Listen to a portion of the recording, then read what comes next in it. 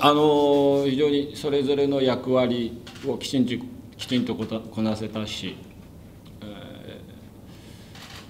ーまあ、高い集中力を持って、うん、プレーができてて非常にいいゲームができたと思います。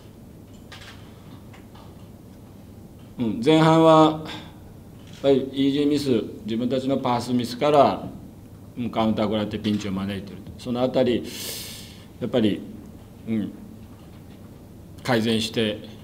まあ、ナビスコだけではなくてリーグ戦も同じようなことがまだまだ見られるんでね。そのあたりを改善していきたいと思います。ただまだ半分終わったばかりなので、うん、油断せずにしっかり準備して第2戦に臨みたいと思います。以上です。